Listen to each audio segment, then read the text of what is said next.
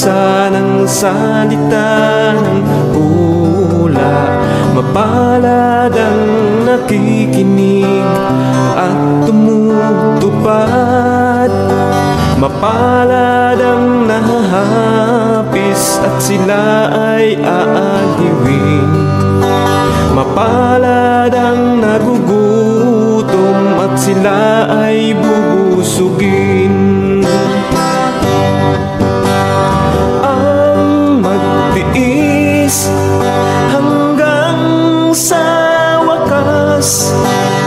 Sila lamang ang maliligtas.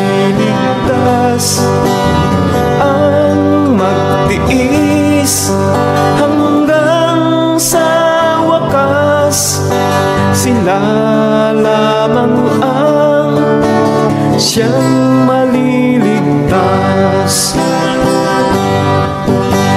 Lalaganap ang kasamaan at sila'y magkakanuluhan Lilitaw ang mga bulaan dito sa sanlibutan. Makipot ang pintuan patungo sa kaligtasan Malapad ang pintuan tungo sa kapahamakan Ang magtiis hanggang sa wakas Sila lamang ang maliligtas. Ang magtiis hanggang sa wakas Sila siyang maliligtas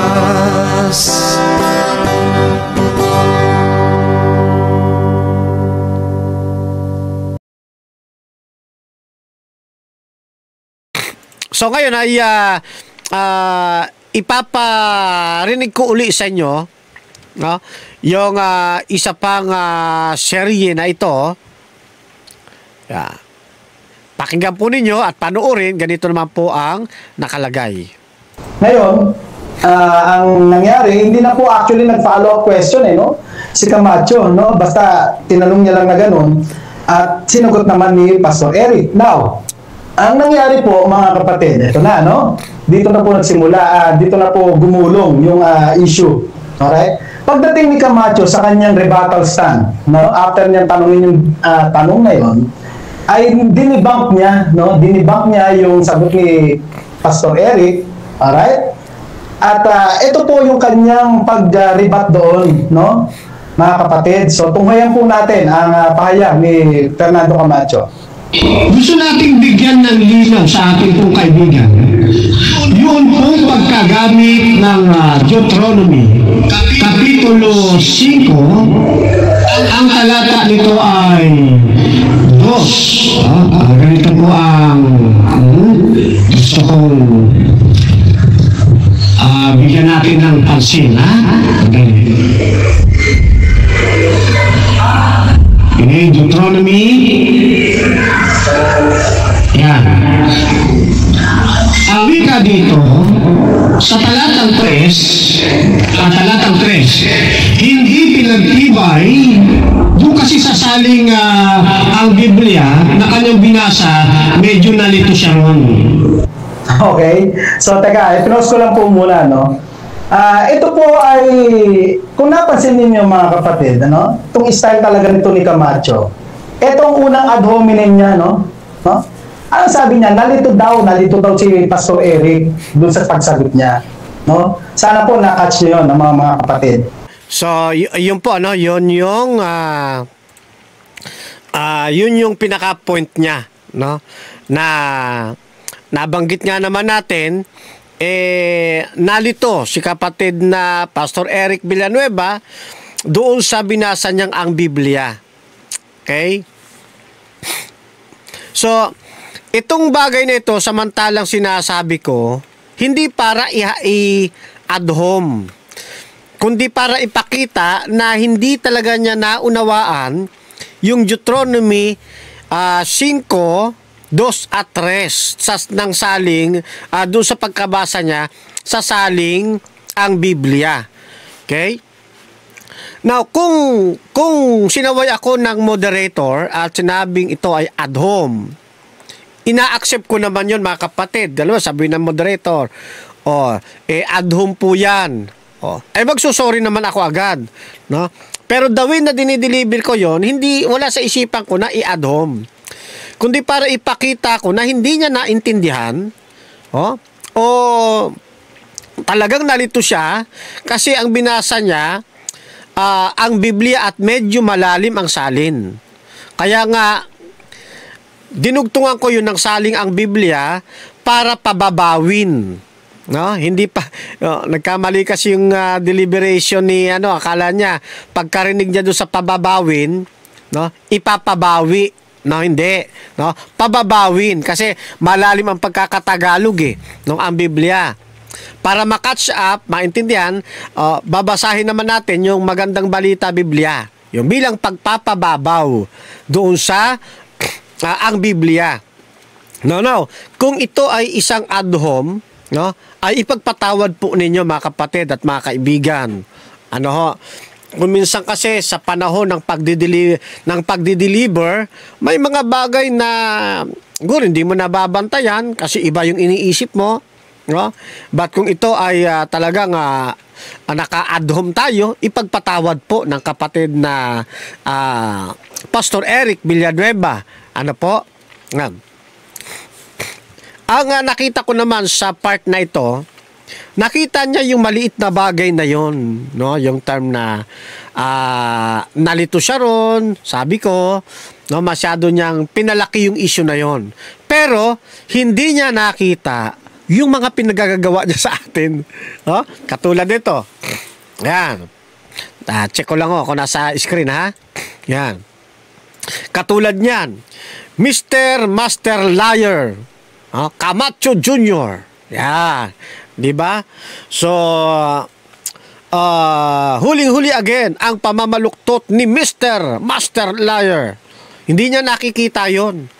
Kumbaga, sabi na nating uh, i-admit na natin na nakagawa tayo ng pagkakamali doon na na-adhom nga natin bagamat hindi yun ang ating nasa isipan talaga during the time no pero i-ano na natin, i-accept na natin sa aking panig na talagang uh, nagkamali nga ako sa deliberation na 'yon, ano? At yan naman eh sabi ko, pagka nagkamali ako, madali kong ihingi ng tawa diyan at sincero tayo roon kay Pastor uh, uh, dyan, Eric Villanueva. Nakita niya yung puwing sa ating mata. Pero hindi nakita ni kapatid na Erwin de la Cruz yung troso na nasa kanyang mata.